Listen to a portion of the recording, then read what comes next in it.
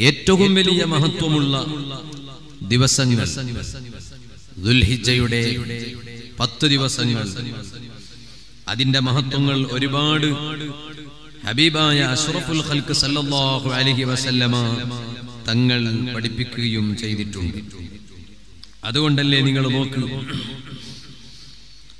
ദുൽഹിജയുടെ മഹത്വം പറയുന്ന കൂട്ടത്തിൽ നബി സല്ലല്ലാഹു അലൈഹി വസല്ലമ തങ്ങൾ പഠിപ്പിച്ച ധാരാളം ഹദീസ്. കൂട്ടത്തിൽ പറഞ്ഞു മാമിൻ അടുത്ത ഒരു വർഷത്തിന്റെ പാപം അല്ലാഹു തആല പൊറുക്കൽ എങ്ങനെയാണ്?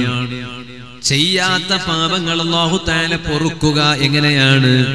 അതിന് പണ്ഡിതന്മാര് പറഞ്ഞു ഈ ഒമ്പതാം ദിവസമായ അറഫാ ദിവസം ഒരാൾ നോമ്പ് നോറ്റാൽ അടുത്ത ഒരു വർഷം പാപം ചെയ്യാതെ അള്ളാഹുവിനെ പേടിച്ച് ജീവിക്കാനുള്ള നല്ല വഴി അള്ളാഹു താല അവന്റെ മുന്നിൽ തുറന്നു കൊടുക്കൂ.